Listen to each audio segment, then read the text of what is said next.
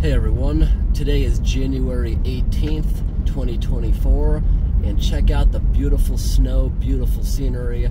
We're just checking out some awesome scenery with the snow stuck to the trees, nice deep snow.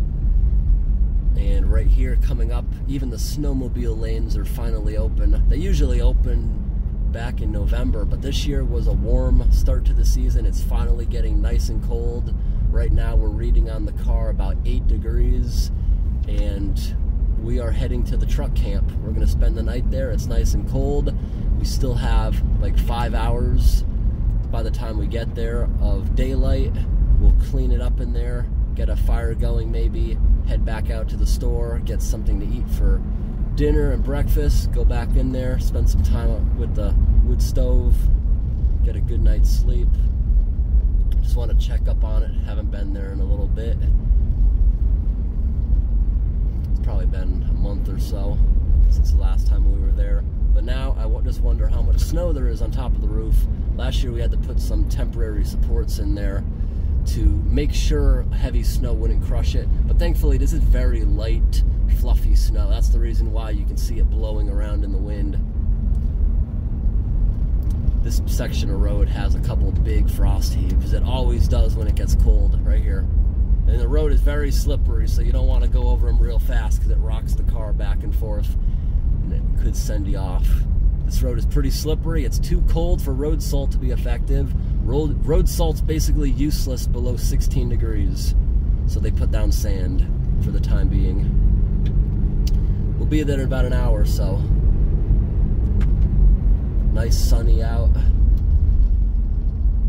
Beautiful weather. We got a ton of firewood here, but first I gotta shovel a path over to the door.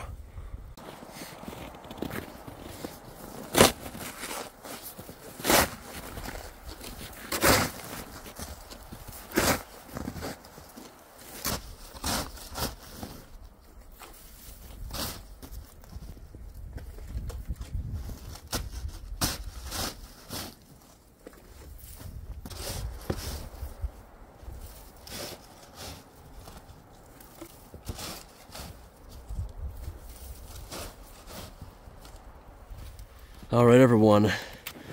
Oop, pricker bush. I just shoveled a path over to the truck. Gotta get those bungee cords off of there because those might start burning when we get this thing fired up. There's not a ton of snow on the roof. Last year, there was a couple feet and I thought it might crush the truck, so there's temporary columns in there I'm gonna remove while we're staying here. That snow will melt off the chimney quite fast. I think it's too cold for any of the snow on the roof to start melting. That gap of air between the roof and the truck will prevent any of that from melting. Got our little security light here. Hopefully that still works in the cold temperatures. Just shoveled a path. We have about a foot of snow on the ground. The bottom is crunchy. Couldn't really get that up too well with the shovel. Haven't been in here at all. A couple of months. Oh, but look, it's been so cold that even the last time I was here, the footprints, the snow I left in here didn't even melt. Because you saw at the beginning there when I was shoveling, there was no footprints coming to this thing. This thing was completely snowed in. It just didn't melt. It was so cold since the last time I came in here. I came in here just to get something last time, and I also removed things. There's no more microwave in here anymore. Cleaned it up, gave it away. Also, some other items in here I got rid of. Is that a new mouse nest? Really? Is that a brand new mouse nest? Is something living in there right now? No. But something made a nest. Maybe it was just there and I overlooked it. I removed all the insulation and toilet paper. I think. Yeah. This has not been chewed at all. The fresh stuff. Also, look, none of the mouse traps are tripped either. And someone was right. Instead of putting peanut butter, which rots, I put some pieces of chocolate in the other ones. And that doesn't seem to mold or anything. So we got to do a little bit of cleaning. I got to take apart all these shelves, sweep them off, clean it up. Sanitize the table over there where I'll be eating. So these are lolly columns I put in the middle here, temporary jacks for buildings, or they can be permanent if you're trying to straighten out the floors in an old crooked house. Well, this was just because last year when I saw feet of snow, the roof was actually buckling a little bit, so we'll remove this now. Everything on the roof is pretty fluffy. Then we can start cooking in here. Start up the stove. Get some nice heat running in here. We got a little bit of wood in here, and we got a ton of wood in the back. So I hope there's enough kindling where I can get a fire started in here. And the next time I come here, I'll bring some more scrap lumber that we can just keep in here for starting fires. Right there we have a smaller camping stove. Hopefully I'll do a hot tent video this winter. We'll see. The table's perfectly clean, not a single mouse poop on it. Last time I had to clean it. And yeah, so here we have Windex, which is completely frozen, but maybe I can use that to sanitize things once it defrosts in here. Right back here I have my bed. I brought the mattress in the truck.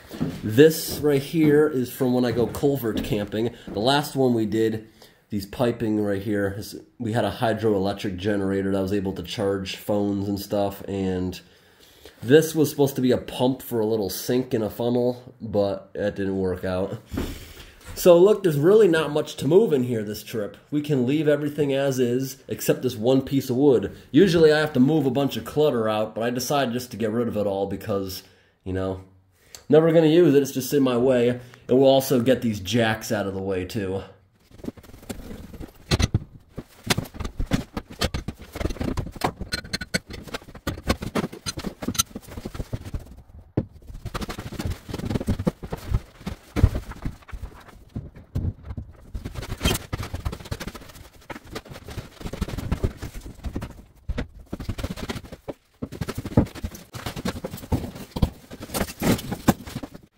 take our look in the fireplace.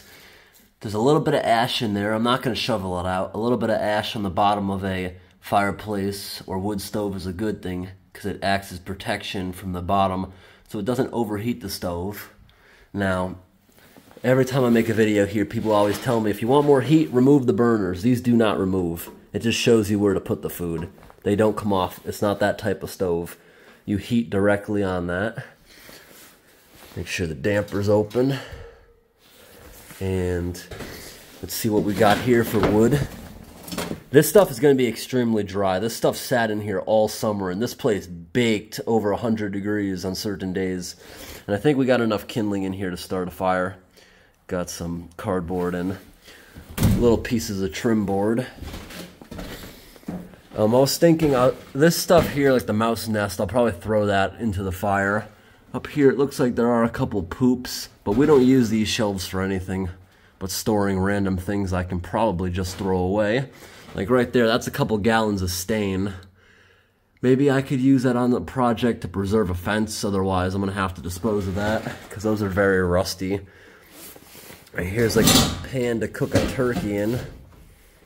Some other kind of strainer. It's all junk. I might just scrap all the stuff that's right here. And then over here, there's not much. I think I'm going to wait until the summertime. I'll move it all outside, and I'll bring a vacuum in here with a large power bank, and we can just vacuum it all up because we don't use any of this. Although, this right here was a good idea I had earlier. A lot of people like this idea from my last video. I'm going to come back in here with like a Walmart bag. I'm going to collect, those are speakers and lights from the truck. I'm going to get all that out of there. And this is where we're going to use this as like a refrigerator. Because this is in the front of the truck and a bit away from the fireplace, this will stay kind of cool but not frozen if we left our food outside overnight. So this will be used as like a little refrigerator in the wintertime. Just stuff food in there. Or maybe at some point we could figure out an easy way of opening up the engine bay here. Because this is on hinge. No, it's not on hinges. Two clips and the thing lifts up. So it's not hinged, but... Actually, let's see what's inside here right now. Don't have to move too much. Those are parts for little camping stoves. That's a little tiny frying pan I use when I go camping and I don't have a lot of space. These are all parts for that little stove, the one in the back right there.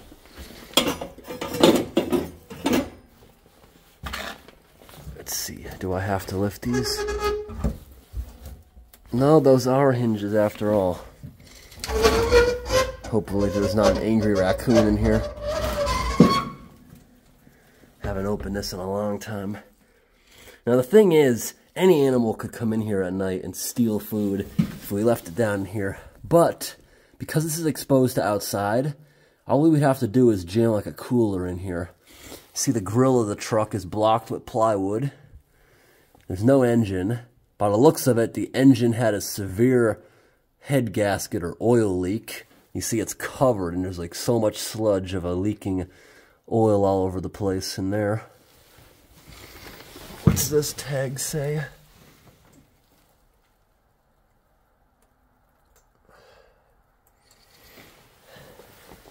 Well, everything on this truck's been stripped. Maybe a good future thought. We could put a cooler in here.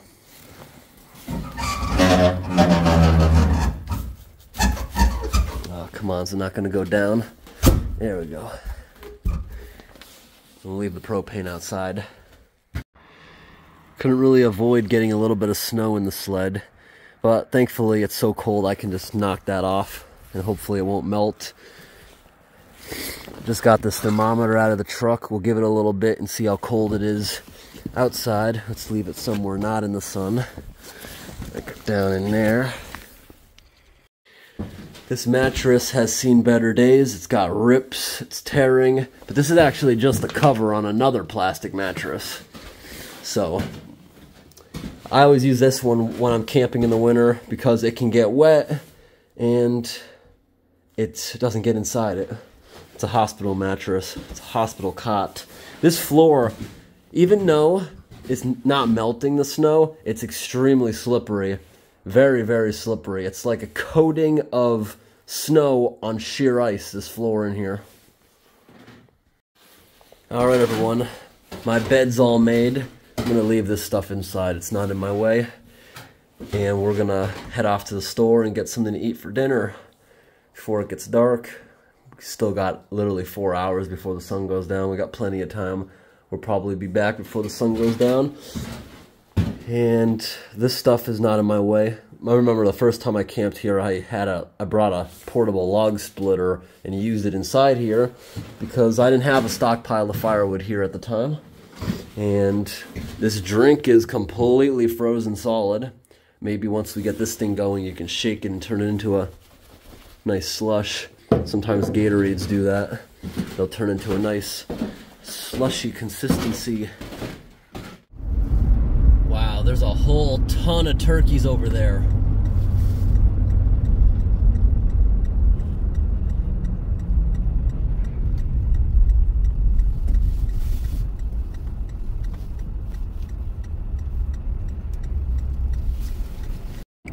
It's a lot of turkeys.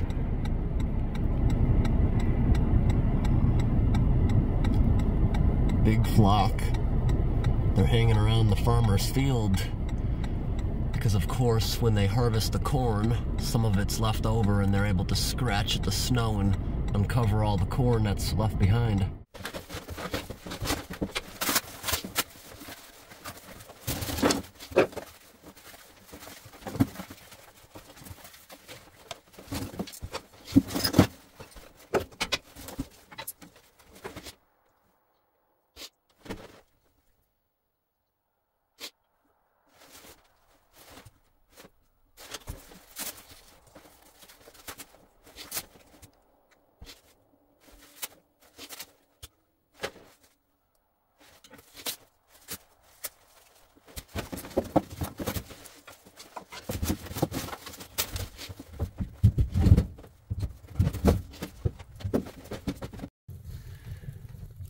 That scrap wood will go really fast. It took a bit there to get the cardboard started, probably because this place gets pretty humid in the summer, and that box is probably moist and frozen. But we already got some of the kindling going, so now we're gonna put one big log in there, and hopefully it's able to catch that on fire with that kindling. That's a very dry log, so let's hope for the best. We'll leave this door open while it catches up leave it cracked like that. No, it's not an option, I guess. It's gonna swing open, but I think we're good. Just give that a little while to catch up. Let's look outside. Starting to smoke. In a couple minutes, it'll melt all the snow off the top of the cap. And before nighttime, I want to bring that cardboard box out here and completely fill it up with some of the wood we have stored outside so I don't have to keep coming out in this cold weather.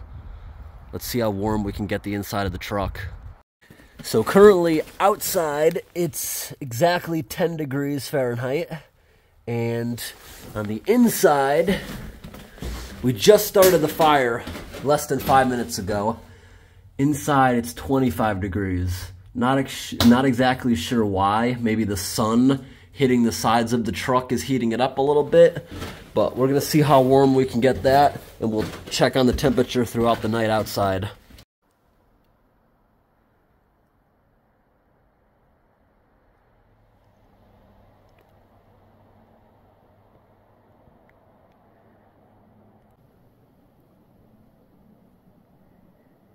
Ooh, it's starting to drip. I'm letting this truck grow in a lot, getting some cover around it. Hopefully in the summer it won't be as hot anymore. Spring is coming soon. Look at this. Already got some buds. You can see the outline of the leaf this bud is about to turn into.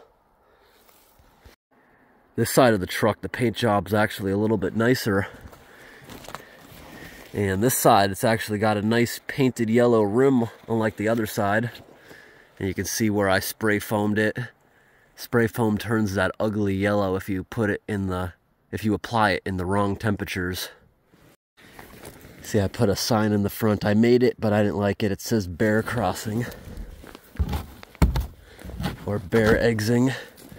And I'm storing a bunch of window screens and stuff that I'm thinking I might be able to use on the truck in the summer. Got some dripping going on. It's not that hot yet. All right, everyone, I just shut the damper halfway so we're not losing all the heat. And that also makes it so the fire can focus on being upright instead of slanted backwards with the draft wind. And we can maybe get some more stuff. That piece is definitely going. I just jammed another piece in there. Now, let me show you what I got over here. Got some paper towels I'm going to do some cleaning in here. So, got some paper plates gonna try to make a compartment in here where mice can't get and I can leave that. Got some water for cooking with and drinking. We'll keep that here so it can stay warm in the truck. Got some fast rice to make. Got some fish I'm gonna cook tonight. Got some bread and cheese, because in the morning I'm gonna make some grilled cheese. Got some butter for cooking with, a bunch of pre-peeled garlic, and Powerade keep here inside the truck. Now this cooler, I'm gonna actually try to put it inside there what we're not gonna use tonight. Let me take out what we're using tonight. We're gonna use the rice tonight. We're gonna use the fish tonight, the garlic and butter, and we only got two things we're not gonna use tonight. And I'm obviously not going to use the rest of the butter, so I'll put that back in here. And I want to open that and see if we can easily get it inside there, because an animal is not going to be able to easily chew into this. A raccoon is smart enough, maybe it could open it, but you know, that honestly be kind of funny. It's all it's going to get is that stuff. It won't be the end of the world. We're going to open that thing up and see how's our fire doing. Pretty good.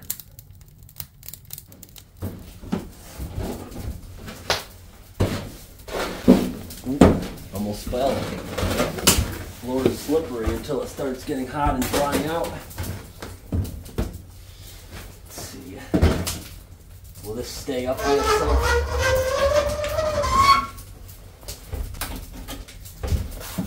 I don't think it'll stay up by itself.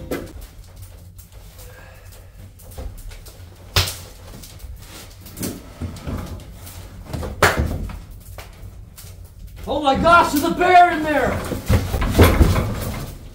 I'm just kidding. But yeah, something has been living under here.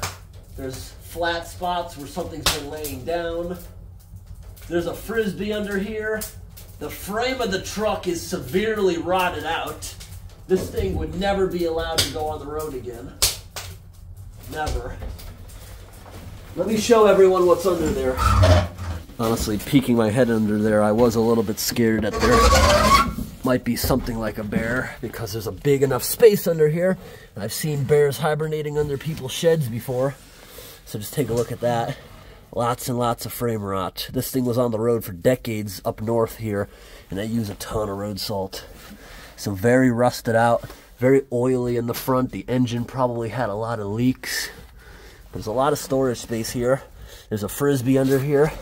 Looks like part of a cane. If we look all the way underneath, nope, no bear, but there is definitely enough space where something could hibernate. Under the rear or the side of the truck that we can't really get to, there is a good almost foot gap where something could easily dig its way underneath here. Yeah, frame is very rotten. Probably still strong, but just take a look at that. That's very rotten. Oh, it's even cracked. The frame is even cracked right there. Yeah. Very cracked. And the hood opens up from the outside. Are those brake lines or those cooling lines? So we can go ahead and put this in there for now. Fits perfectly. That's so exposed to the outside, that'll always be like refrigeration temperature or even freezer temperature with this weather. But a cooler can also work in reverse. It can also keep things from freezing for quite a while also. I'm gonna open that glove box and throw everything in there out. We got a big mixing bowl right here. I'm gonna go fill it up with everything in that glove box. All right, so there was a lot more in the glove box than I thought there'd be. It's still got to be cleaned. There's actually like frozen mud residue in there. At some point, water was able to get into that, probably before I put the new windshield on. So we have a bunch of mirrors that came off the truck, a rear light, some reflectors, looks like a soldering gun. This is a pretty cool tail light. Don't know if it came from the truck or not. Here's a lock. Here's a, looks like a throttle cable. Um, wiper blade, some kind of attachment, a glass lens for the truck. We got a speaker in here. Oops. Didn't break though. This is all junk. I don't know why I was holding on to it, but I'm gonna go throw it all out. The wood stove is already up into good operation temperatures. The stove itself not that hot yet, because that's thin metal. This is thicker metal, takes a little bit. This is a cast iron Dutch oven we'll be using for cooking. Might as well preheat that, because that takes a while. It's already clean from last time. And we have another little pot I can get out of the truck we can put there. Looks like it's doing well, definitely caught in there. So we'll go ahead and shut this for a little while. It's got an air hole there, so it'll keep burning, keep heating up. All right, I brought a box of firewood in. Also, there was two hooks that I found in the truck. Maybe I should get more, hang some things up. I could hang most of this stuff up here, then that would give me a lot more counter space. That wood I brought in there is hardwood. That'll last a lot longer than this pine, but I will try to get rid of the pine. Thankfully, this wood, it fits in there. That 18 inch piece does fit in there. Let's see how we're doing. Haven't looked in here in about 10 minutes. Going pretty nice still. Once there's room, there is, let's put one piece of this in there, the hardwood, which will burn hotter and it'll also last a lot longer without having to touch it. Alright everyone, so here's my plan of what I'm going to make tonight. And I'm going to have to do it in a couple of steps because there's only two burners in here and these bigger pans, I can only fit one over there at a time. So I'm going to have to make things in little steps put them here on paper plates and mix them together and heat it all up at the end.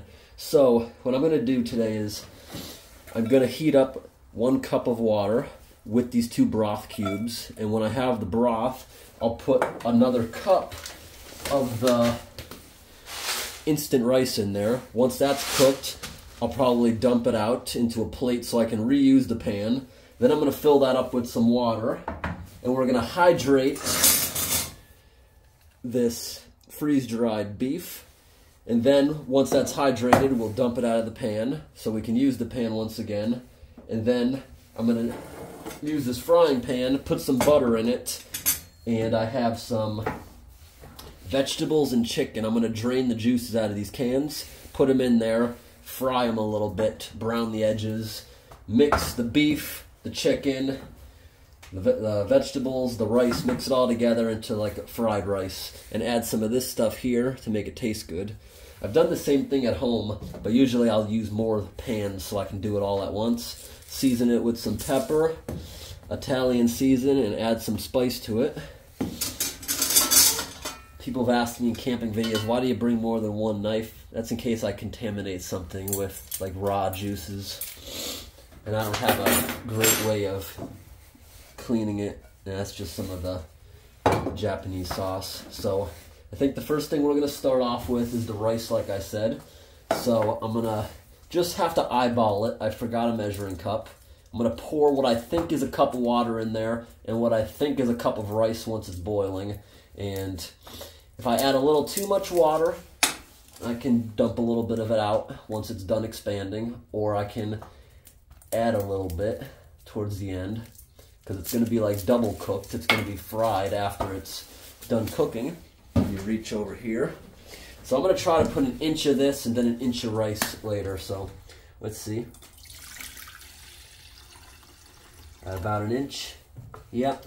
Let's go ahead and put this onto the burner. It'll take a little bit of time for it to start boiling. I wish I had another tiny pot, but I don't, so we'll just do this in a couple of steps.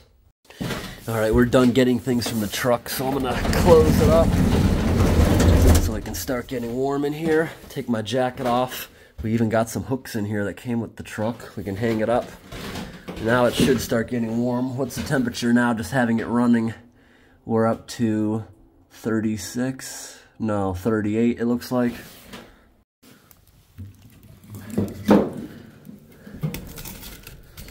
We're not burning hot enough. Gotta try to add some more. Bunch of little things in here. Maybe we can pull some of this forward.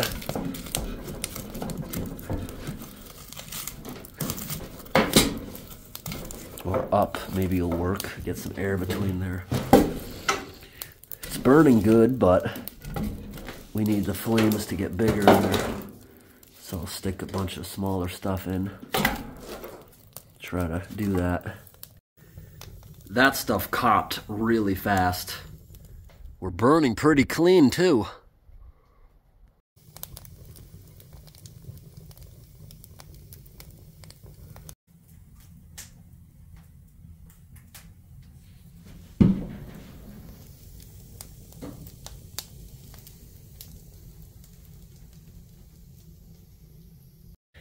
The floor is no longer slippery, everything's melted. Fire is roaring. But this cooking stove, every time I've ever used it, it kind of sucks. It takes forever to boil water. It's been almost 20 minutes and it's still not boiling. And the temperature has now gone up to 55. All right, I'm gonna grab one of my pot holders so I can come over here and put my stuff. This is finally began to boil. The cubes have dissolved. It's now getting very hot in here, especially next to the stove. Pour some rice in there. That looks like an appropriate amount, huh?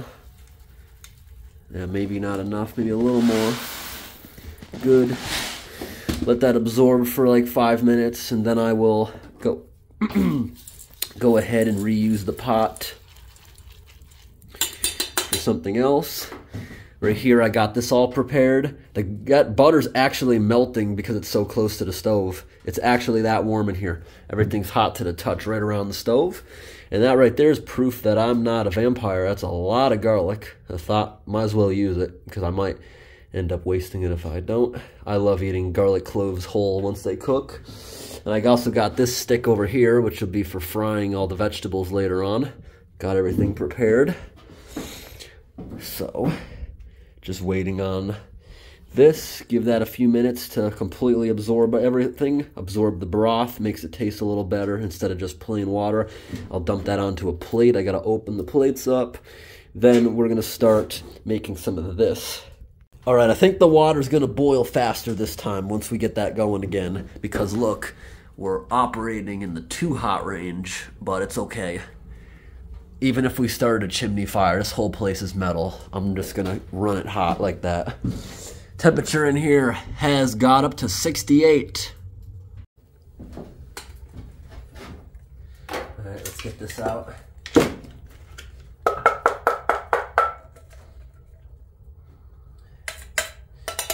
That's gonna be hard to get all that out. I don't have a spoon or anything, so I'll just use a little bit of water. All right, that washed it out perfectly. Now we're gonna put some water in here, get it to a boil again. Don't think it'll take as long this time, because we're a lot hotter. That thing is running extremely hot inside. It's way over temperature, but not a single bit of smoke burns so clean when it's at these temps. Now down low, see there's a bunch of pieces of ash and stuff. That right there is basically creosote from last time we used it. And now that we're suddenly applying heat, it's crinkling off and just flowing up and landing somewhere. If we look at the edges of the pipe, you can even see a heat signature. That thing is boiling hot. All right, time to grab this off the stove. Nice and hot. Hot enough to add some of our ground beef. This stuff tastes really good actually, and it tastes just like the fresh stuff once it is made, or once it absorbs. That's enough. Now I'll just drain excess water in 15 minutes. That takes 15 minutes for that to start going. Now I can start heating up that frying pan and start frying vegetables since this is all we need that little pan for. Give it a quick stir. Just like that. Now this is a big pan, so it's going to take up both burners like this, or almost both of them. Once that butter starts melting, I'll throw the vegetables in there. So in the meantime, I got to go ahead and grab my can opener, which I haven't used in a while, covered in spider webs. Got to open this up, and we're going to set it right outside the door for about five minutes until the butter's done melting, just so it can drain the juices out. Keep it like that, let it drain. Same with the chicken. Pop it just a little bit. We're gonna set it outside the drain. All right, coming over here to the door. Gotta open it up. Still got a little bit of daylight. So I just gotta find a place to put these so they can drain. All right, I'll put one of them there at an angle. And I'll put the other one here. Oh. No big deal. Not much of it spilled. And I'll just leave that one tilted right there and I'll be back at it in like five minutes. Back inside, we're about half melted with the butter. Probably more butter than we needed. Yeah, definitely more butter than we needed. All right, everyone, this is nice and hot. The butter has now completely melted. Let me walk outside and grab those cans.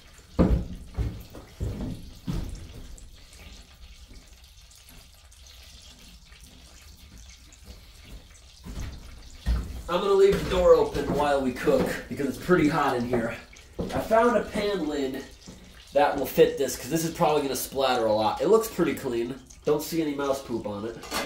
Let's get this open now. Come on. There we go. Well, it did flare up as much as I thought. Not as hot as I thought it was going to be. Let's open up the canned chicken. Start frying that stuff together. We don't need the cover yet. I'll stir that around every now and then, just want to brown the edges a bit. In a couple of minutes, I'll drain the hamburger meat, add that and the rice in together when this is fried up. Even though this is overheating, it's not producing that much cooking heat, so I'll probably stir this around for twice or three times as long as I would typically do at home. Don't think I need the cover. I'll put that off to the side with the knife.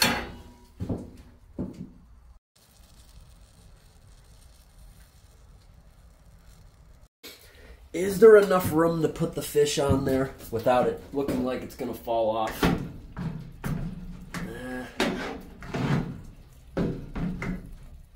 Yeah, that's stable enough. We can at least get that heated. We're obviously going to have to keep spinning the pan around because there's more heat on this side. But once that starts getting heated up, this will trap heat and cook relatively fast once it's heated.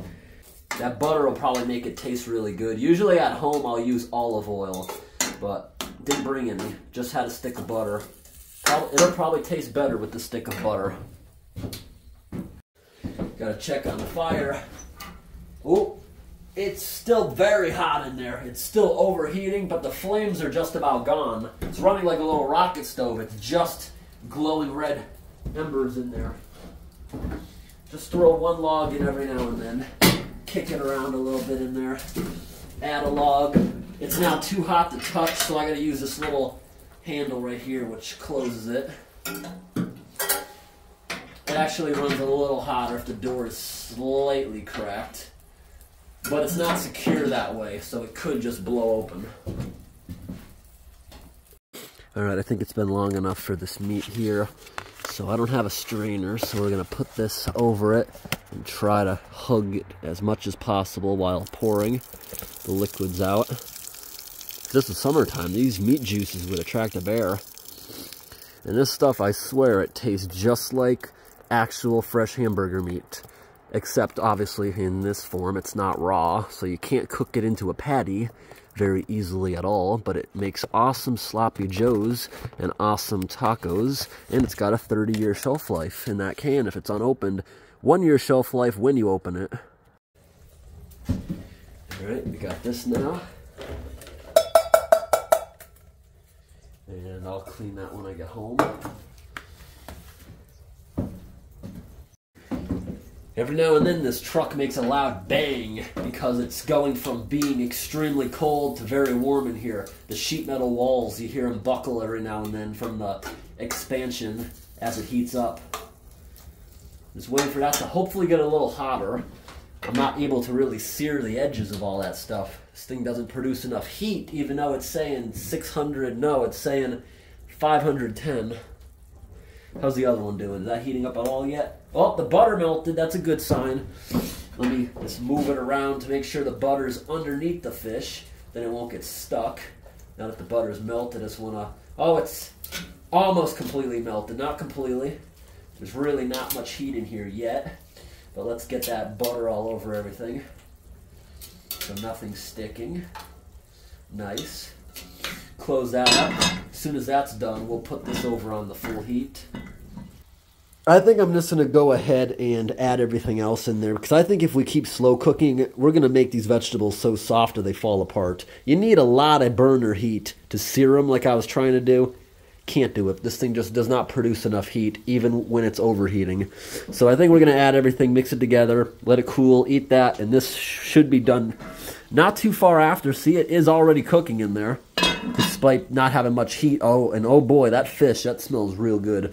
This just scared the crap out of me that the security light came on because I'm leaving the door open. I was like, who, what animal could possibly be here? I peeked out ever so carefully around this corner, around this corner, but no. This security light tests itself as soon as it gets dark enough to throw its um, daylight sensor. It'll test itself for like 30 seconds. That's why it came on. And I guess sometimes animals walk by or sometimes the wind blows trees and sets these off. I have one here. I have a couple on the rear of the truck. And I guess that's what the lights were that people were seeing in my other videos. They were asking when I was time-lapsing when I was sleeping, what's that light that keeps turning on in the back? I guess some animal is walking by. So we're going to add everything else now. All right, here we go. We're gonna add the hamburger. We're gonna add the rice right on top of that. And this will just discard into the fire. And I'm gonna put some seasoning on that. I'm gonna start off with the pepper. This is way too slow. I wish I brought regular ground pepper. That's gonna take forever to get what I want. Oh, the motion sensor turned back on again. Why? Not the wind. Wonder why it's testing itself. There is no wind. I had that light outside turn on again. Creepy. At least this one I can take the top off and sprinkle what I want on there without having to vigorously shake it forever. The Italian season one, at least it comes out very fast. Put a bunch of it on there. Mix it around the whole pot. And now we're gonna add some of this sauce that makes it taste really good. Go ahead and put a whole ton of that on there. Now we're gonna go ahead and mix it around. I may even put more of that stuff. We'll see how much this, how far it goes. And we gotta mix all the meat, vegetables, rice together. Mix it all around, all that seasoning. Heat this stuff back up. The rice is still, for the most part, pretty hot. You know, back at home, I've been trying to make friends with the raccoons for a while. I see people on YouTube always have raccoons coming up to their houses and they're able to get pretty close and feed them. I'm assuming they probably raised them or knew them as babies. I don't think my grown ones will ever do that. There's a, a pair of raccoons that always come by my house. Around here, I haven't set trail cameras in a while, so I don't know who's coming by. That'd be kind of cute if a raccoon came in here for some food. Most animals in the woods wouldn't bother you unless they were rabid. We don't have anything dangerous like a cougar or a grizzly bear. Most things wouldn't come near a human or would quickly run away if you made noise. All right, look, that came together nice. Well, that smells real good. Gonna add just a little bit more of that sauce in there. I think that will make it. That'll be good. Mix it around. Just a little more I'm about to take it off the burner. This is very hot, so this is to take a while to cool. There we go, nice and mixed around. We're to get that off. This pot's already hot enough I can barely touch it. Get that over to full heat. In like 10 minutes, I'll flip the pieces of fish. Another 10 minutes, it should be done. We're gonna open on up the firebox, throw this stuff inside. Look at that, red hot in there. Finally cooking good. Next time I come out here, I just gotta remember, let this thing heat up a little bit more. Open the flue more, because we're getting a little smoke in with the excess flame. I bet that's gonna smell like burnt toast outside, if you can even smell it. It's pretty still, so the smoke's going straight up. But I bet if I did smell it, this is probably gonna smell like burnt toast. Don't smell anything. Don't smell anything, don't see anything. It's burning very, very clean. Let's come back into the truck. Just from going back and forth to the truck a couple dozen times, this is packed down to like ice now. Inside's completely melted, and it's keeping a great temperature with the door wide open. This fireplace is going hot. You see, this stove has some imperfections. That bolt wouldn't go in. The front, you can see, is tilted because the bolt holes didn't line up correctly. This is a knockoff stove from China. It's a fake stove of the real company. The real company, the burners actually come off. But why did I get the knockoff stove? Because it was a third of the price, and I only use it two or three times a year on average. So it doesn't really matter too much. And once it gets going, it does a good job. And you know what I learned today? This thing cooks this place a lot better if you're using good hardwoods. The evergreen softwood right there, it struggles to heat this place in these temperatures. What's the temperature outside? Let's go peek. What's it say? It says we're down to four. Yeah, it's four degrees outside, and even with the door open, in here at head level is 68. I bet if I shut the door, we'd probably go up to like 80 or even higher. This rice looks delicious. Still very hot.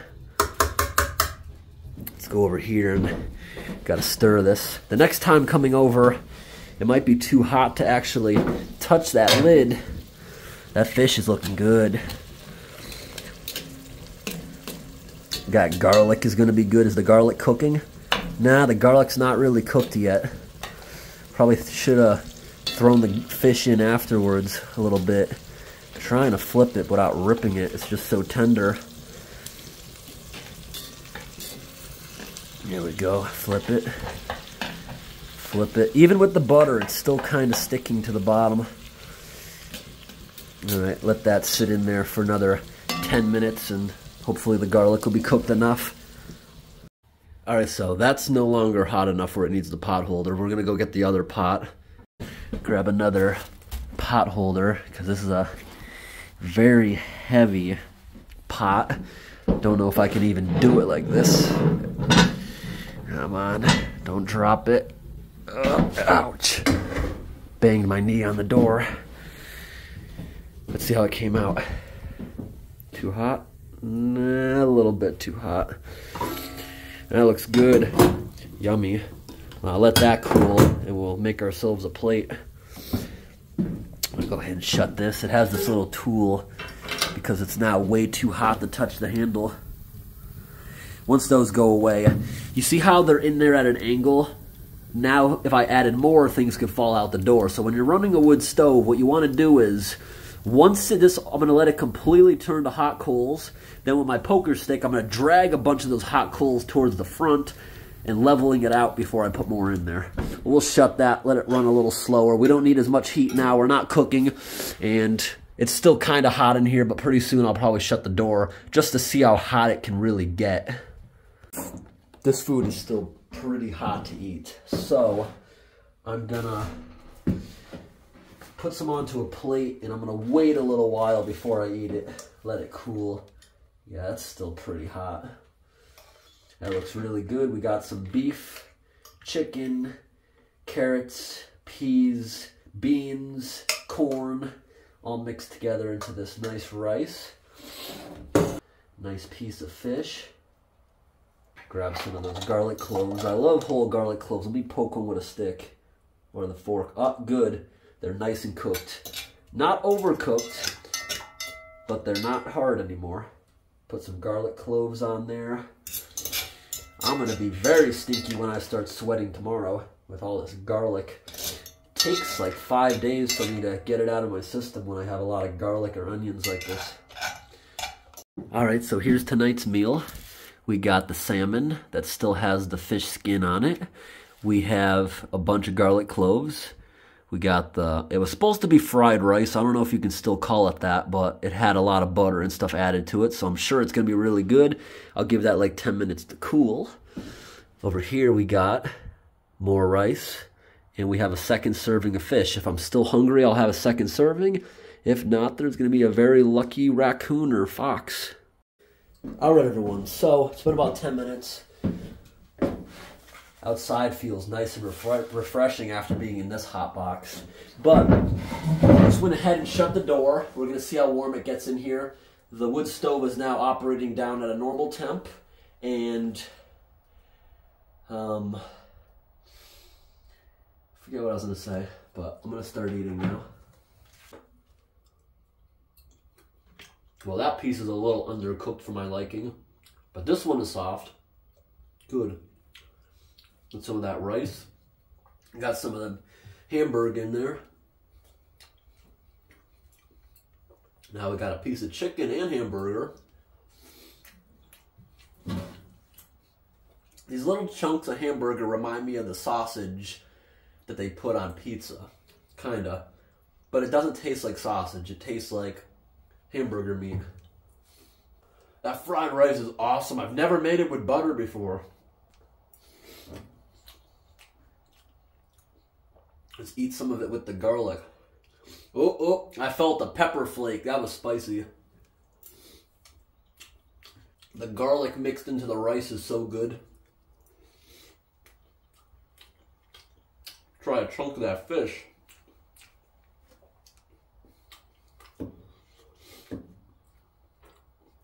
Mm, that fish is good. Gotta eat some of that fish with the garlic.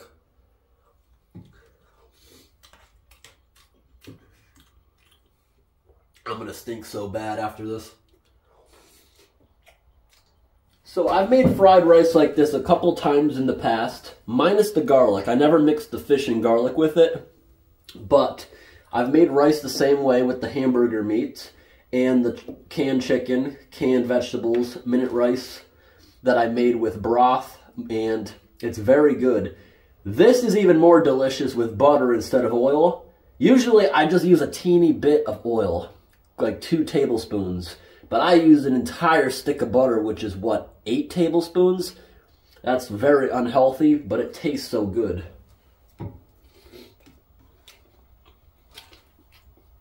The garlic's a good touch. So usually the vegetables I'd saute them, get them a little hard before throwing everything in there. Also fry the rice a little bit in very hot oil. Couldn't do that today. Couldn't get the heat to do that. But that being said, this fried rice tastes better than it usually does when I make it.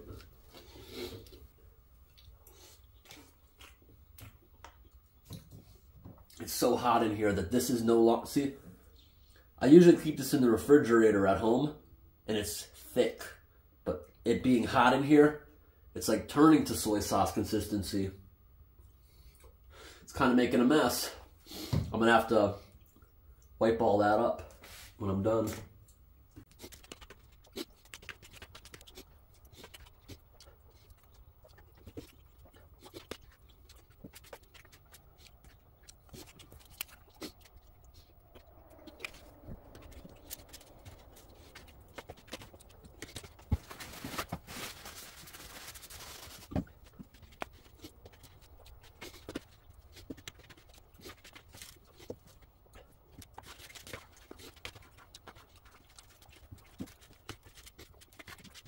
Very good.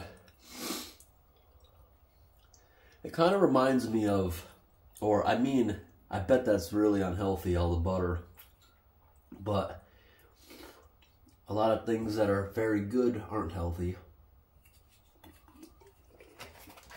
Let's see if this defrosted enough. It's still a little icy in there.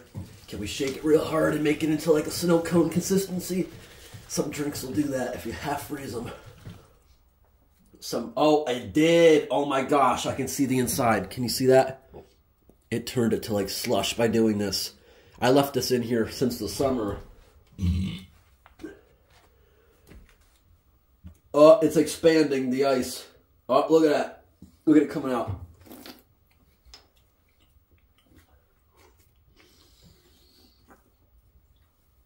Wow. It's like a perfect slush puppy consistency. Oh, look at it. It's still expanding. Look at that. It's expanding. Hmm. It's still expanding because this is supposed to be a carbonated drink. I don't know if that's helping it, but look. It's expanding. We probably got two inches out of it so far, and it keeps going. Yeah. Here it goes. It's still growing.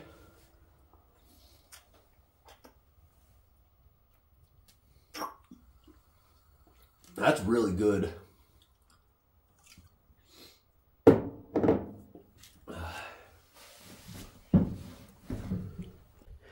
This has a lot of butter and oil on it, so expect this to flare up fast. Let's see how we're doing in there. Throw it in. Let's see how fast that flares up for us. That went fast. It's acting like an accelerant being covered in that butter. It's not flammable like gasoline, but it is combustible like a diesel. So I definitely want to buy a mop and a nice broom the next time I go to the store that will stay with this truck. See all this ash? I think that's ash. But there's like little, see there's a little puddle still remaining there. When it rains really hard, it comes down the chimney. And I believe it's coming out of there, there, that crack, dripping because you can see the water marks. Some of it gets down the chimney cap. So, not a big deal. Also, you see how it's like extra dark there? When I'm cooking things, the butter splashes and it actually seasons it. I could paint this entire thing with butter or some kind of cooking oil and it would look black again.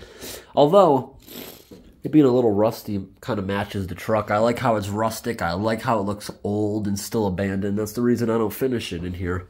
The mirrors, they came with the truck. This thing was filled to the brim when I first got it with trash. You could not open the doors. You could not, well, you could open the doors. You just could not step foot in here. So much trash mouse feces. The roof was leaking at the time, so tons of mold. But we haven't had a mouse in here in a while. The mouse poop on the shelves is just stuff I haven't cleaned since last winter. Mainly because there was a bunch of stuff here I've been throwing out, so I didn't notice it. These mouse traps were good. The wooden ones I got rid of. Well, actually, these ones don't work that great. So these ones, the mouse opens that little door, which triggers it. But I have a different kind where it steps on a trigger plate made by the same company, Victor. Those are the best ones. I will never buy the wooden ones again. These are a little bit more, but they're always reliable. You never find the food missing without a mouse being caught. And maybe in the summer I'll come in here when it's dry, maybe with a steel brush. I kind of want to paint this stuff here, to make it look a little better. I'll buy silver paint so it kind of matches everything else. But I would like to mop the floor because coming in and out of here, I am tracking in mud. Things pop out of the fireplace. I'm kind of tracking through ash. Other things like that. All right, everyone. So I'm over here Crunchy Ice just finished the rest of that. This camera light just died. Oh, it's going to shut right back off, I bet. I got to attach that to a power bank. So over here, we burned down to just coals. So like I said, we're going to drag a lot of this forward. I got to get a better poker stick. Maybe I'll get a, I'll buy a piece of rebar at the store and I'll bend the end of it so it's like a hook. I want to flatten out the coal bed like that Come on. Get back in there. Ooh. Come on. Come on. Boop. Um, there we go. And now we'll just put with one wide piece in there. Once that catches pretty good, we'll add some more on top of it. That'll catch into flames real fast. Look, the flames are already eating it. Give it like a minute and we'll look at it again. This camera light's about to die. This is my super bright one. It's actually made for diving. You hold on to it when you're walking in the woods at night when it's really cold out. Keeps your hand warm. Inside the house, like this, or inside this building, it actually gets hot enough to burn your hand, which might burn out the light. Is that a thing, maybe? Because it's a dive lamp. I assume it's meant to be cooled by water. But it's fine walking around with it when it's freezing cold, because that does the same thing. It does have a lithium ion battery. Could overheating make that possibly explode someday or make it unstable? I don't know. But I'm wondering if anyone in the comments has any advice on that. We have finally caught back up. It's been less than one minute. Let's shut the door. And we'll add some more stuff in a couple of more minutes. I tried my best to clean. Ooh, ooh, ooh. Pricker bush right in the face. I tried my best to clean this pan out without destroying the seasoning. I scrubbed it with snow and a metal brush. Maybe it'll rust. Maybe I'll have to reseason it anyways but we will see. I just want to dry it. Maybe that'll help it not rust. I'll just leave it on the stove. Woo. With cookware that's cast iron, you're supposed to leave the grease on, just wipe it out as good as possible. But there was stuff stuck on. I just had to scrub it. Also with some snow. That doesn't have to be in there. But I'll leave that there to evaporate. It won't ruin the pan. It's cast iron like the rest. Just leave it there. It'll dry out. And hopefully it's not rusty when I return in the summer to do things. So I just cleaned up after dinner. I ate a little bit more rice than I gave the rest of the raccoons. Don't have a trail camera with me now. Oh, the light came on. Uh, that's always going to scare me. I'm going to put another big chunk of wood in here. Make sure it stays hot for a while. I want to go for a nighttime hike. I'll be gone at least an hour. I don't even care if the building cools down. I just want this thing to, I just want to not have to kindle a new fire. So we'll turn that to half. And I think we're good with the pot. That'll be nice and dry by the time I get back in.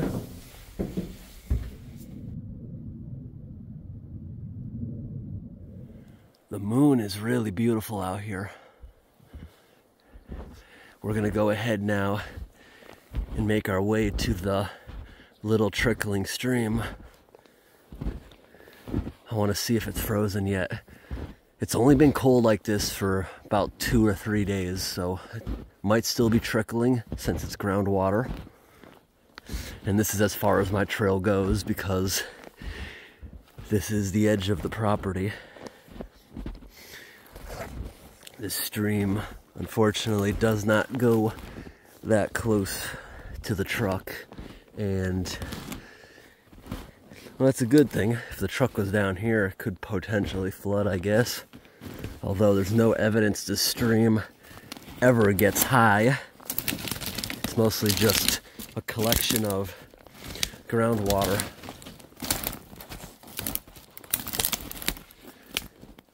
Anytime I'm out in the woods in northern New England, I always like to peer up in the trees and sometimes you see little glowing eyes there's lots of flying squirrels up north. I'd never seen them before I moved far up north. Right now, it's so still out, the air. There's no wind at all. I don't really have a designated trail going down to the stream.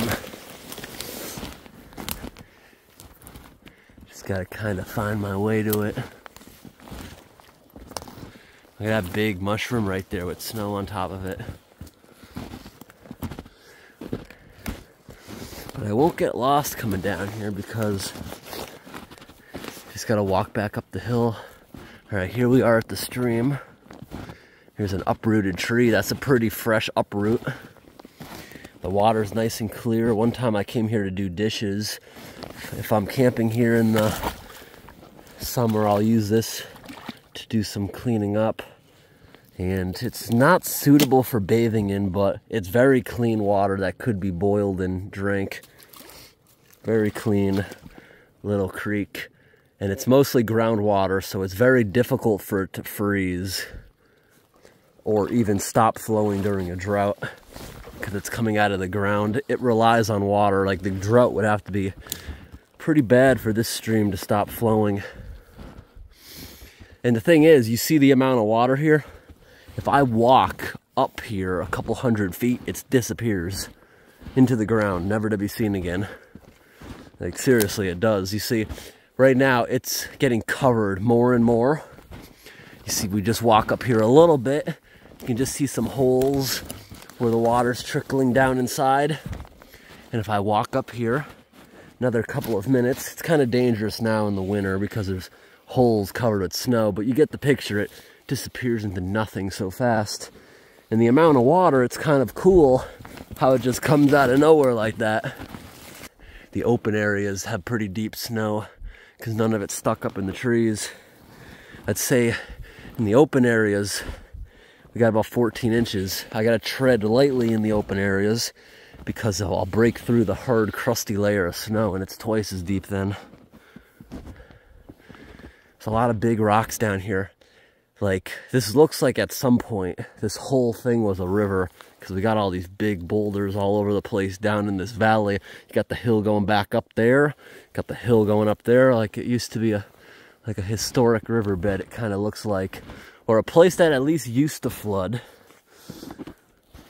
Who knows what this place used to be like a couple hundred years ago. Probably got a lot more snow back then and maybe it melted really fast and this would become a temporary river every now and then. There are a lot of random rocks all over the place, big rocks. Ooh, we got some kind of animal tracks over here. Maybe a raccoon, maybe a fox. I think it's probably a raccoon. See it jumped up over this log continued up here. There's some more fallen trees. Look at that one. Oh wow, this tree here, that's a gigantic one. I wish that one was on my property. Wow, that's a gigantic maple tree. I wish I had one that big. Trees don't really grow as much up north. They don't grow as big as in the south. Right here, this would be a good one to try tapping. You want to tap right below the the first big limb is usually the best spot for it. We also got this other tree stuck up there. Wow, there's another maple here. That tree, this one must have just broken in the recent storm. That looks like a pretty fresh break. Could have been earlier in the year. That one's also stuck up there. A bunch of widow makers. So a lot of the woods around here is actually logging woods. So what they do is they cut it down, they replant it, but they plant it so close to each other because they want maximum harvest when they come back in about 40 years.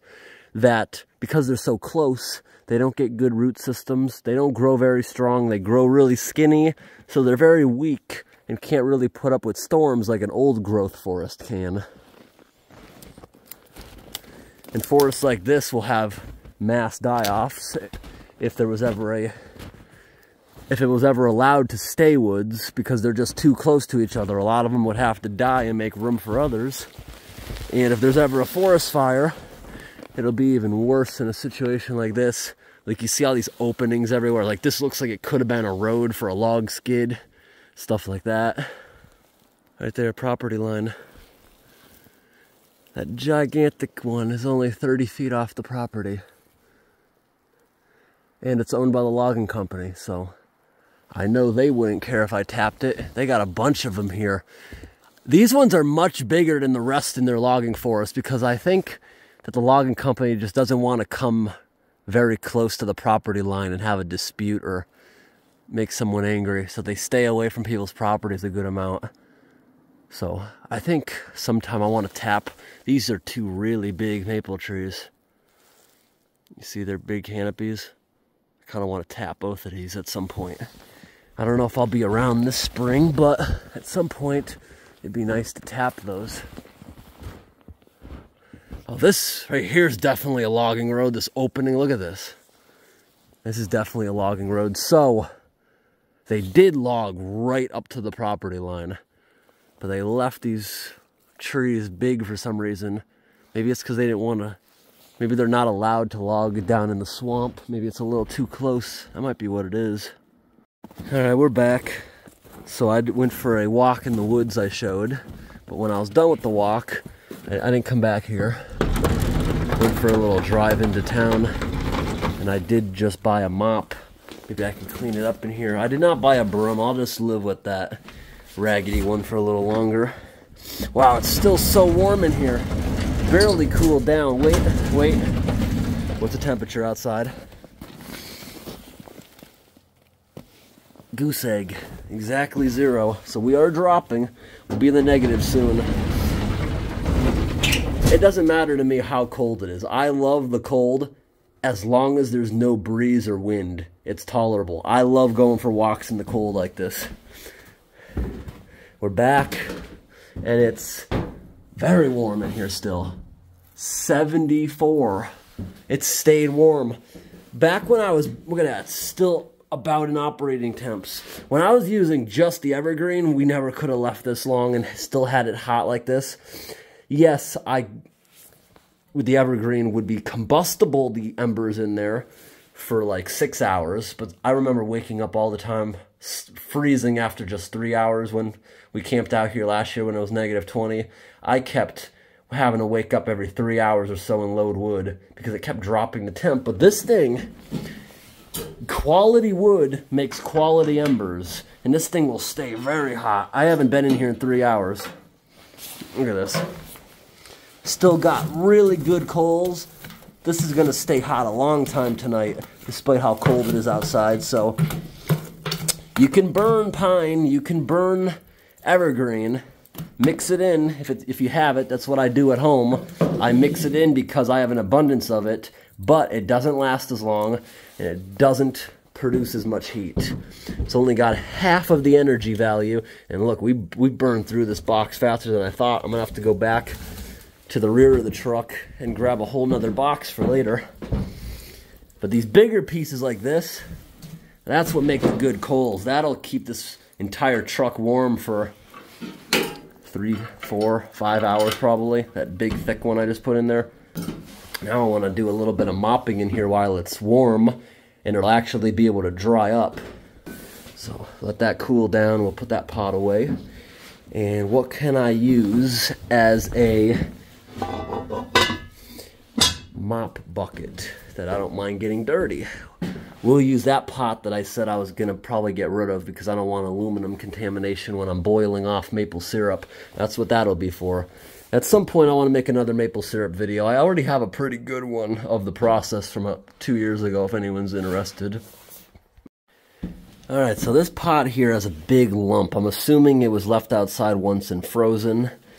But it fits on that burner okay because of the way it is. But I'm to try to...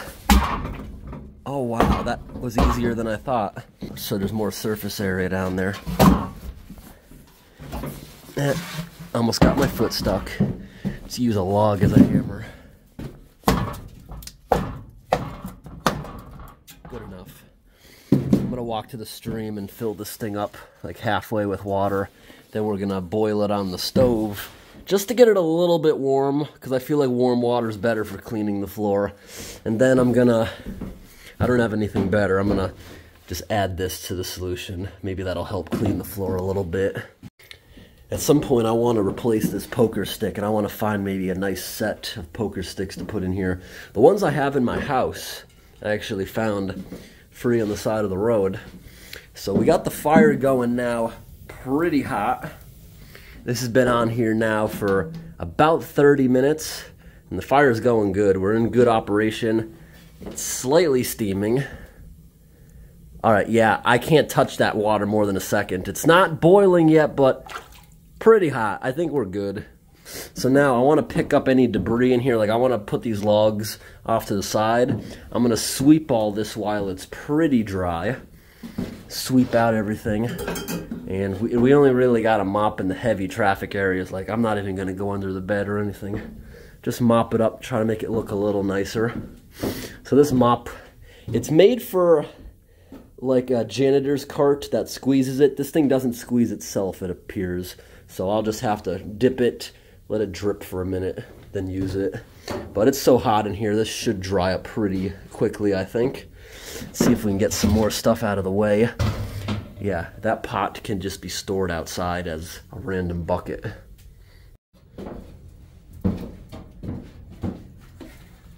All right, time to see if Windex will add anything. i I use Windex as cleaner sometimes because it's the only thing around.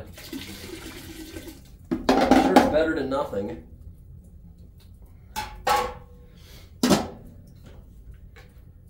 Because if it can clean grime and grease off a window, I'm sure it can help clean something off the floor. So let's grab that mop. All right, let's put some extra lighting in here because I'm about to do some mopping and cleaning.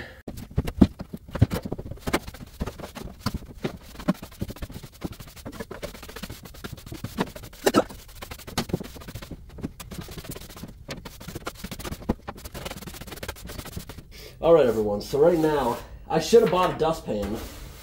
Gotta squeeze it out here and then sweep it out the door. Using hardwood instead of softwood to heat this place is actually awesome. It's not struggling at all despite how cold it is outside. In fact, it's actually too hot in here.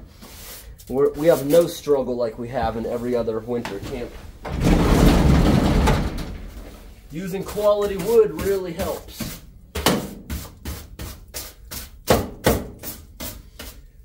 Maybe next time I'll buy a dustpan.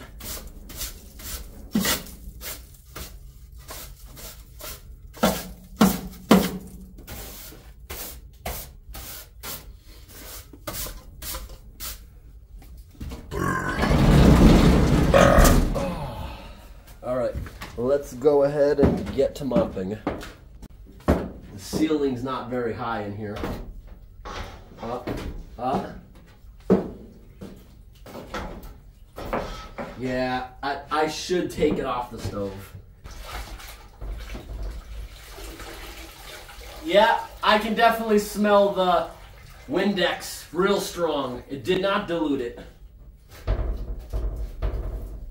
Maybe I can wring it out a little. Ah, no, that's real hot water now. Wow, instant results.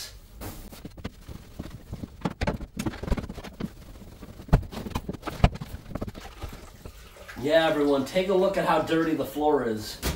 Instant results. Look at that. Look at all that grime I've been tracking in.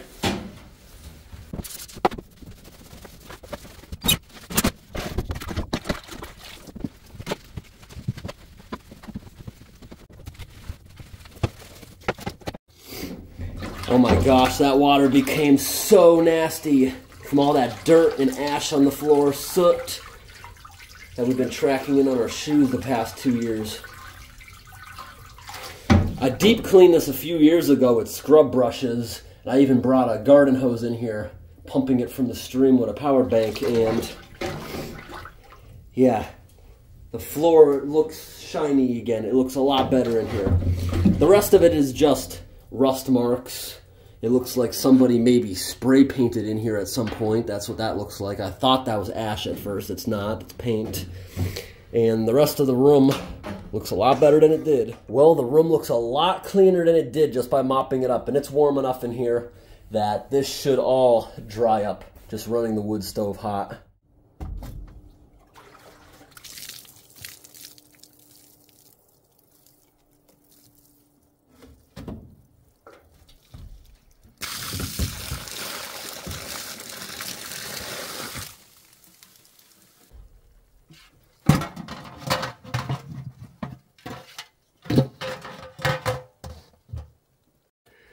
And I'll let that drip dry for a couple minutes, then we'll bring it right back in. All right, everyone, I just put the mop right here. It's dripping, but it'll dry. Just brought more firewood in. What do you think? Is my cheese and bread going to be frozen in the morning when I go to make grilled cheese? It's okay, I can defrost. Those things defrost really easily. The floor is already starting to dry. Most of it around the stove has definitely dried up. It looks a lot better now.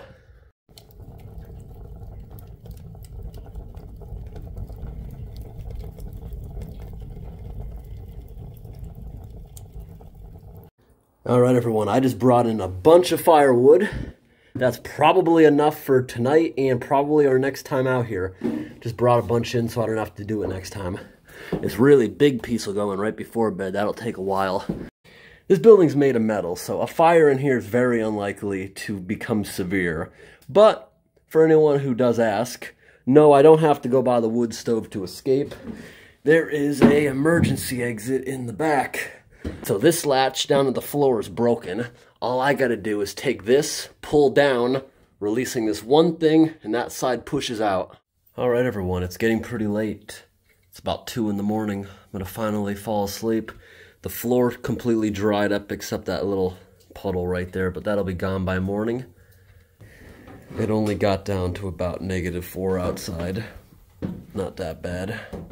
Good night, everyone.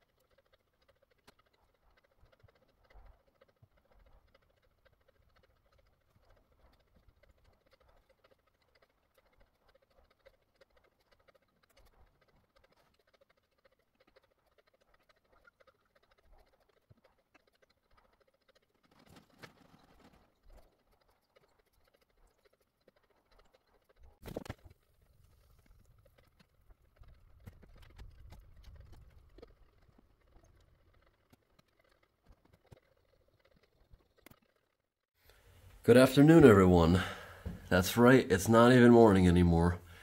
I slept so long in here. You might have seen during the time lapse I got up once, had to use the bathroom. All that garlic last night made me extremely gassy. Then, uh, after five hours of the camera running, the camera shut off because the power bank, for some reason, stopped supplying it power, even though it's still got a good charge, but that's okay. I then woke up later at probably 9 in the morning and then just now at about 12:30 loaded this thing up twice more with firewood, heating it up, and we're to make breakfast now. Let's go see if the bread and cheese got completely frozen or not. All right, everyone. What do you think? Is there to be completely frozen or did the cooler protect it enough cuz it's very cold here. Outside right now has got up to about 15 degrees. But last night the coldest I ever saw, because I woke up to use the bathroom, I think it was 5 in the morning. I looked out at the temp. We got down to about negative 4. That's about the lowest we got.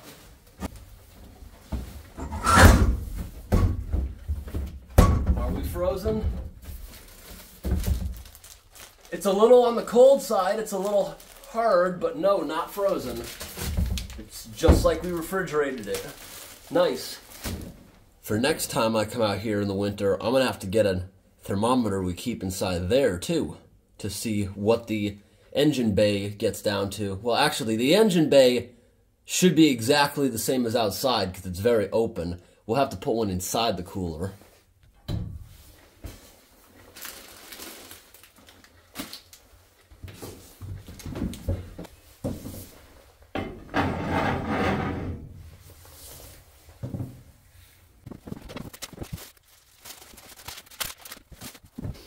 All right, everyone.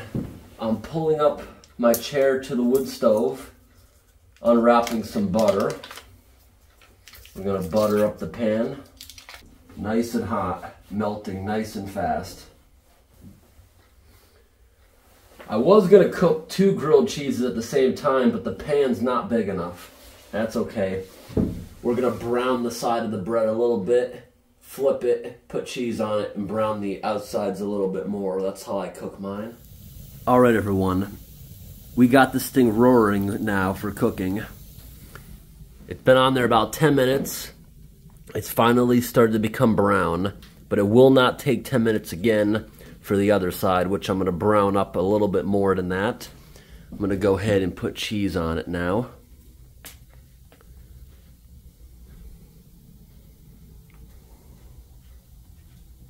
Oops. Start the cheese melting a little bit.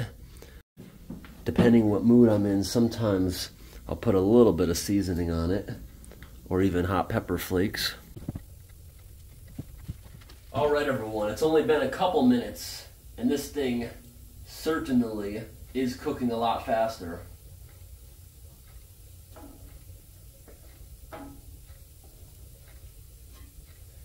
See, it's a little bit golden brown now. Nice. And actually, my brain wasn't thinking. At first, I was going to try cooking two at the same time. I only put two pieces of cheese on my sandwich usually, but now I got four because I wasn't thinking for some reason. But that's okay. We'll have an extra cheesy sandwich, and now I'll make a normal one with only two pieces. Yeah, we got this thing really hot compared to before. Now we'll be able to start pumping out grilled cheese fast.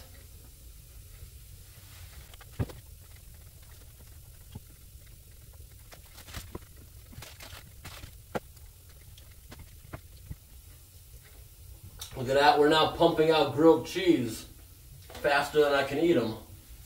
Take this off for now. But I'll probably have a third one in a little bit. I just gotta eat this now.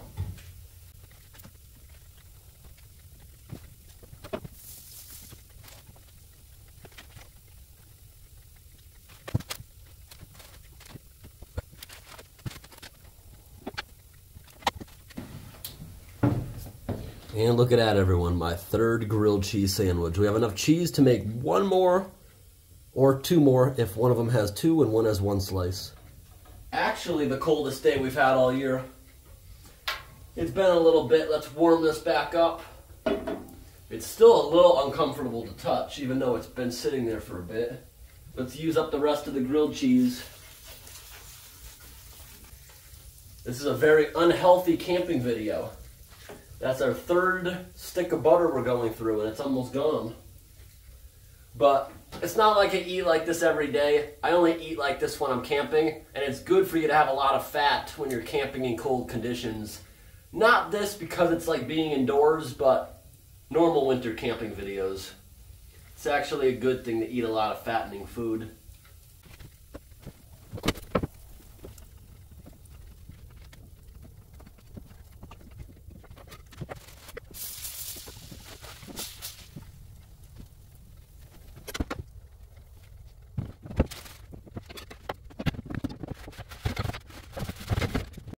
All right, everyone, I'm waiting for my grilled cheeses to cool, and in the meantime, I just took a paper towel, wiped out all the butter, and the pan looks perfect. Once it cools down, I'll hang it back up. Cookware that's made out of cast iron, not supposed to use soap. Water's okay sometimes, but you want them to remain greasy like that with butter or whatever. And we'll probably do the same thing to the stove, maybe if we come out here in the summer.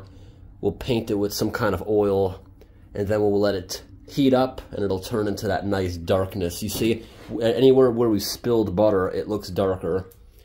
And this thing is running very, very hot. I put really small kindling in there, so there's more flame.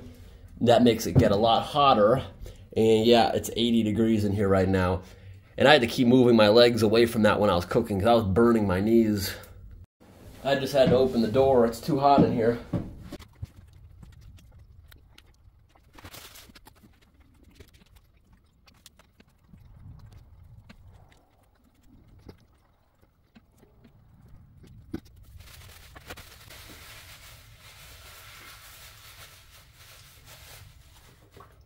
So I've learned that just a little bit of Italian season actually makes it taste a lot better in my opinion. It adds some good flavor to it, makes it a little less cheesy. So that was really good there. And last night I did learn it's a horrible idea to eat 50 cloves of garlic yourself. Even though it tastes really good, it does make you bloated for a little bit. Not, it wasn't horrible, it wasn't that painful, just I could feel bloating. And then in the middle of the night, I had explosive diarrhea. Alright, we're not running as hot anymore, but we're to run very hot for a split second because I'm to discard our greasy paper towels in there, which those will flare up like fuel. Throw all those greasy paper towels in there. Hear that noise? It's causing some flames to race up the chimney. So we'll shut that and drown it out a teeny bit so we don't get too many flames going up the pipe. Let's look outside, see if it's smoking or burning it off clean. Yep, it's burning so hot that it's burning it off completely clean. Oh wow, look at the slope in the snow and it goes right back up. This pipe is so hot, it's melting a bunch of the snow around it. And Every now and then you can hear a little almost 2 in the afternoon and we're at, about 9 degrees.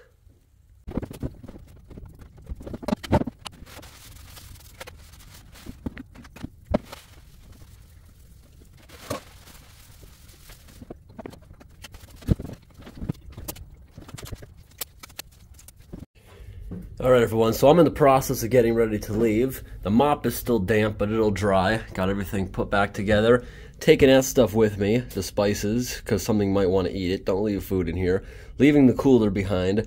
Last night I had to use some lotion. I don't know if you could tell, but my knuckles were starting to bleed from it just being so dry, being near the wood stove, and I guess going back and forth from being dry and touching freezing firewood outside. So now it's sitting about 80 degrees, despite the door being half open. If I shut it, it would go way up probably. So, quality wood, had zero issues sleeping. I got a best night of sleep I ever got just because of the change in what we're burning. So right there, I'm leaving behind my gallon of water for next time. That pot's clean, taking my power banks. I just cleaned up this. I didn't have any cleaner, so I used water and Dawn dish soap to clean the counter, which I think is good enough. I'll probably leave the Powerades behind for next time. In my experience, all these type of bottles can freeze without breaking. If you get the cheap ones that are like a milk carton, those break when they freeze. These ones don't. Although I have stored things before where a mouse will nibble it because it knows there's water in there and it'll start slowly leaking because of that. But amazingly, I didn't have to clean any mouse poop this time. When I came in here for the summer camp, I had to clean the counter was covered in poop. It was on every surface. The only poops now are on the shelf, and I know that was already there. And there was nothing in the mouse traps. It's amazing, nothing came in. So every time I get Powerade or Gatorade, it has these things around them. You always want to break these, the plastic holding it together, because it's going to end up in a landfill where things like seagulls and raccoons, other animals will pick through the trash because people throw out so much food and that gets stuck around their neck and can kill them. I'm also going to go ahead and take things like this, my plates, that towel, extra toilet paper, pot holders, anything a mouse might want to chew and make a nest out of. We'll try to jam it in here. I don't know if all the paper towels are gonna fit. I might have to take them out of there. No, never mind. They fit perfect.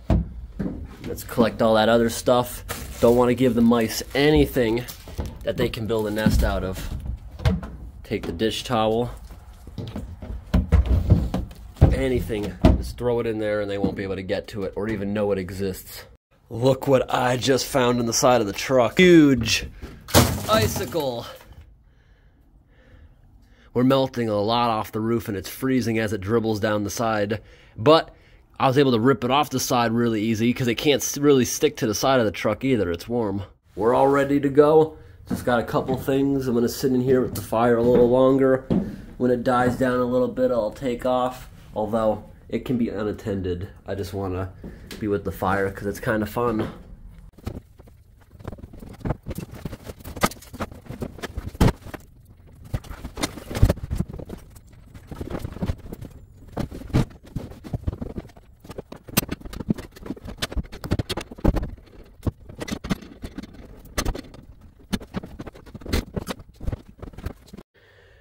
All right, we're all packed up.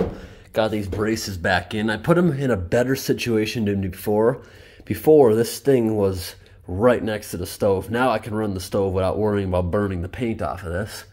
If I ever have to leave them in place, if I think there's too much snow. But I don't think that would ever happen.